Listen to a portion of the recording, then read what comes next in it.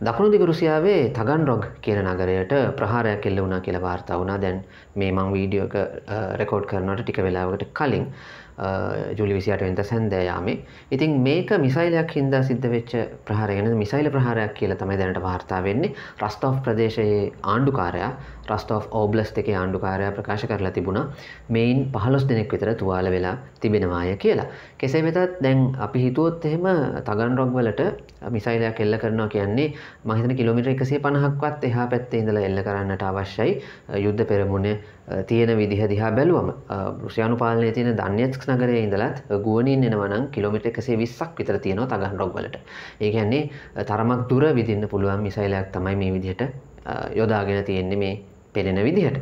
තොර ඒත් එක්කම අපිට වාර්තා වුණ ඇතරම ඊයේ ඉඳලා වගේ යුක්‍රේණයානුවන් තමන්ගේ ප්‍රතිප්‍රහාරය නැවතත් අලුත් කරලා තියෙන කියල විශේෂෙන්ම දකුණු දිග ප්‍රදේශයෙන් මෙලීතපල් නගරේ දිහාවට සහ ඒ ඔස්සේ අසෝෆ් මුහුදට ඇවිල්ලා ඒ මගින් ක්‍රමියාව වෙන් කරන්න රුසියාව අනික් පැත්තෙන් ක්‍රමියාව වෙන් කරන්න කටයුතු උත්සාහ දරමින් ඉන්නවා කියන වාර්තා අපිට ලැබෙමින් තිබෙනවා. මේ ප්‍රහාරයත් හෙමින් තමයි යනවායි කියල වාර්තා වෙන්නේ. මොකද විශේෂෙන්ම රුසියානු ආරක්ෂක වලල්ල බිම්බෝම්බ විශේෂයෙන්ම එක් බටහිරින් ලැබිච්ච ආයුධ පවා අපි දැක්ක යුද්ධ ටැන්කි පවා හානියට ලක් වෙලා තිබුණ. ඉතින් ඒ ඒක නිසා දැන් යුක්‍රේණ අනුවන් තමන් සතුව තියෙන පරණ සෝවියට යුද්ධ ටැන්කි පාවිච්චි කරලා ඉස්සරහට යන්න ඒ මාර්ගය විවෘත කරගන්නටත් සමහර්තැන්වලද උත්සාහ කරනවා කියලා වාර්තා වෙලා තිබුණ.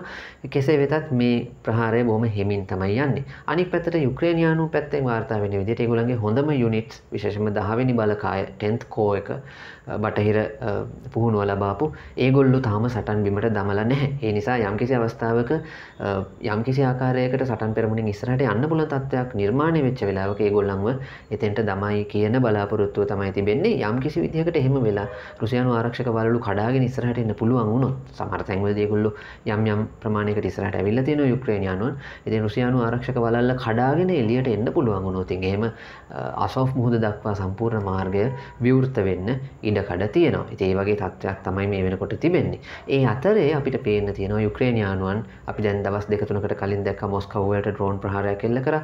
ඒ වගේම අපි දකිනවා දැන් තගන් රොග් වලට එල්ල වෙච්ච මිසයිල් ප්‍රහාරය වගේ දේවල්. ඒවා මගින් රුසියානුවන්ව වෙන වෙන තැන්වල අවධානය යොමු කරන්නට උත්සාහ කරන තත්ත්වයක් පේනවා. මොකද ඔෆෙන්සිව් එක. ඒගොල්ලන්ගේ ප්‍රහාරය හිමින් සිද්ධ වෙන නිසා.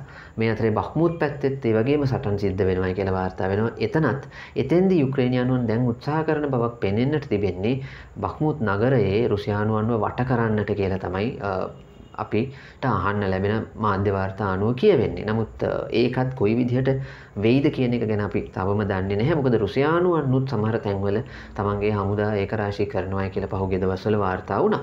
ඉතින් අර මුල් දවස්වල කල්පනා කරාට වඩා රුසියානුවන් බොහොම සමහර තැන්වලදී ප්‍රබල විදිහට මුහුණ දෙනවා. මේ සාර්ථක විදිර මුහුණ දෙනවා යුක්‍රේණයානු ඔෆෙන්සිවකට එතකොට දැන් ඊළඟ ප්‍රශ්නය වෙන්නේ මේ දවස්වල සටන මේ විදිර දිගටම කරගෙන යන්න පුළුවන් තත්ත්වයක් තියෙනවා. නමුත් යම් කිසි අවස්ථාවක අනාගතයේදී තත්ත්වය කොහොම වෙයිද කියන එක මොකද යුක්‍රේණයානුවන්ට අර ඩිෆෙන්ස් ලයින්ස් කඩා ගැනීම සඳහා විශාල වශයෙන් ජීවිත හානි කර ගැනීමට හැකියාවක් නැති නිසා.